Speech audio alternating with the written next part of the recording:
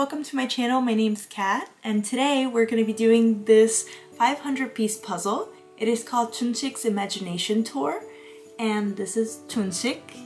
He's a little kitty, isn't he so cute? I got this puzzle from my dear friend over at Yoon's VLOG and she brought it all the way from Korea so I'm super excited to do it. She does a lot of different vlogging content, both long form and shorts on YouTube. So if you're interested in some of these that you're seeing on the screen, please go check it out. It's really nice. My favorite ones are the ones that have food in them, as well as this series she's doing on her channel currently, which is the Christmas Craft series. Thank you for bringing me this puzzle all the way from Korea. I thought it was perfect to do right away since it was a Christmas gift. So while it's still the Christmas season, I feel like we should open it and do it now. It is my first Korean puzzle that I'm doing. This puzzle is from the Brand Kakao, which doesn't usually do a lot of puzzles that I know of, but they do a lot of different things in Korea, so I'm not surprised that they also have puzzles. Chunshik is actually one of the characters that they have in this line called Kakao Friends, which is actually what's written on this box here, Kakao Friends. All of the characters are super adorable, so if you ever want to see, I'm gonna actually put a little picture here of what some of the other characters look like. They're also adorable. Anyway, let's open the box and see what's inside.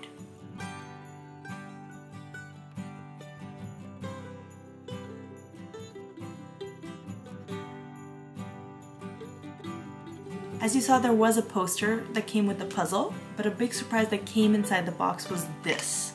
At first I thought it was something similar to like a freshness packet that you sometimes see, those little beads and stuff, so I was just like, oh I guess it's like a gel one. But it is not. I actually asked my husband, he read this for me and it actually says it's glue, so I found that very interesting. They give you glue as well as this little spreader so that you can glue your puzzle once you're finished. I think it's very neat that they added this to the box. I've never seen this before and I've never heard of anyone getting glue with their puzzle, but I think that's awesome.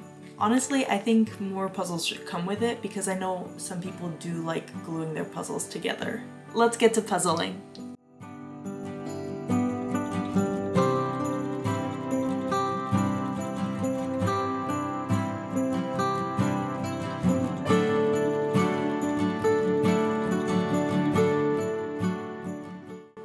Sorted out a lot of piles. The first one was edges.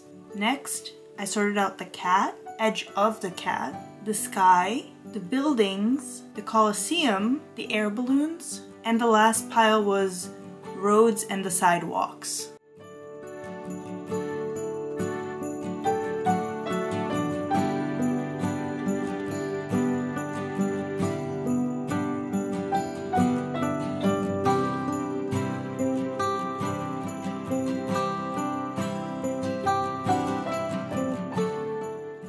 Started by making the edge.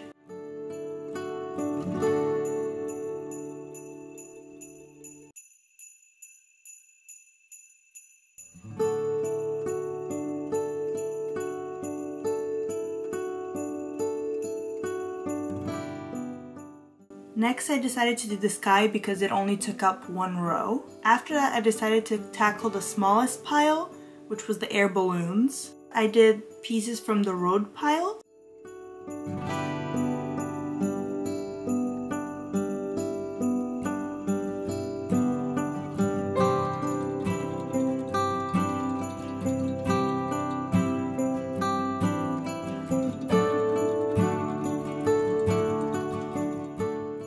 Slowly started to build up from there to the Colosseum and then to the cat.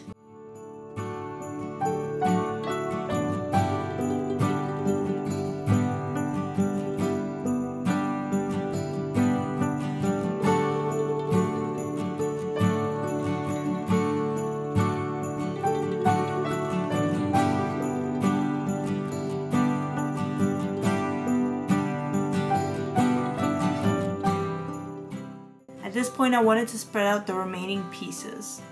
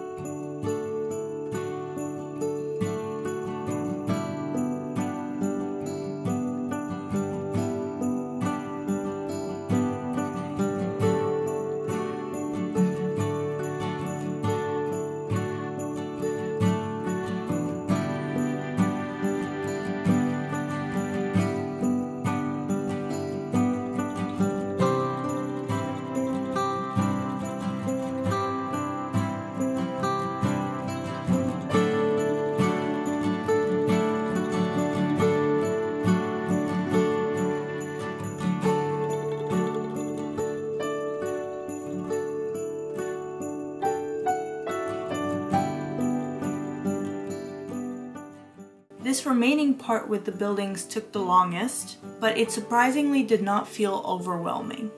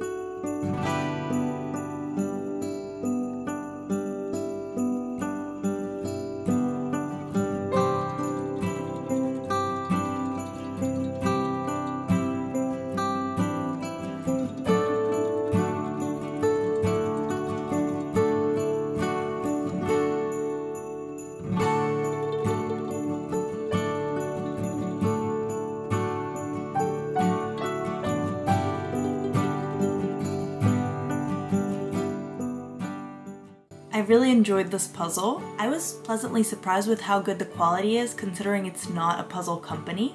I would say the pieces are regular size, but I really like the thickness and the quality of the pieces.